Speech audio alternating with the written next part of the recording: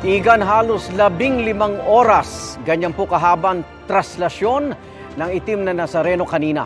Ang pagbabalik ng prosesyon matapos ng tatlong taong pagkakatigil dahil sa COVID pandemic.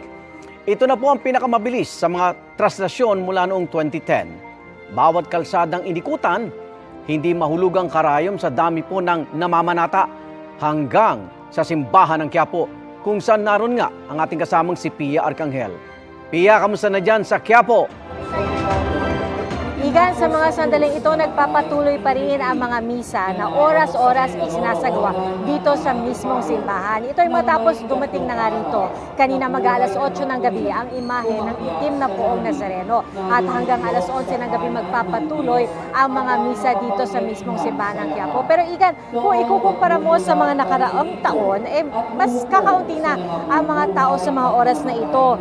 At sa isang dekada nga kasi ng translasyon, Igan, ito na ang pinakamaaga nakabalik bumalik sa Quiapo Church ang imahe ng itim na Nazareno. Kaya naman talagang malayo yung pinagkaiba sa dami ng tao. At nakasara na rin ngayon ang mga pinto ng simbahan na papasukan sana mula sa Plaza Miranda. Gayon man, may mga ilang naririto pa rin at may mga dumarating pa rin para makibahagi sa misa.